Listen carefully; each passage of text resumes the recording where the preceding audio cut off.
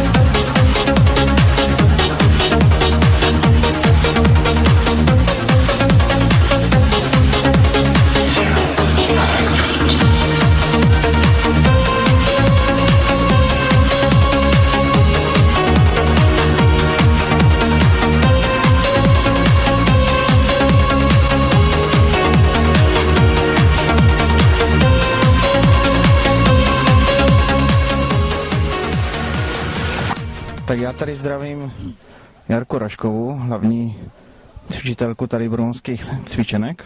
A chtěl bych se jí zeptat, jak se ti tady dneska cvičilo a jak to tady celkově hodnotíš, tady na tom novém bazéně. Tak já tě taky zdravím. A musím říct, že bazén je úžasný tady, je to krásné, už to tady mělo být dávno. A cvičení s holkama to bylo poprvé pro nás a myslím si, že holkám se to velice líbilo, že se nám tu dobře cvičilo a určitě, když vyjde počasí, tak tady budeme chodit. Každý, každý čtvrtek a pondělí, jak jsme zvyklé.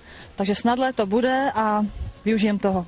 Takže zvládli jste to dneska v pohodě a i přesto, že hlavní hygienik České republiky říkal, že vlastně v tom Horkovi se nemělo vůbec nic dělat, nic cvičit a takové věci. Takže zvládli jste to jako v pohodě.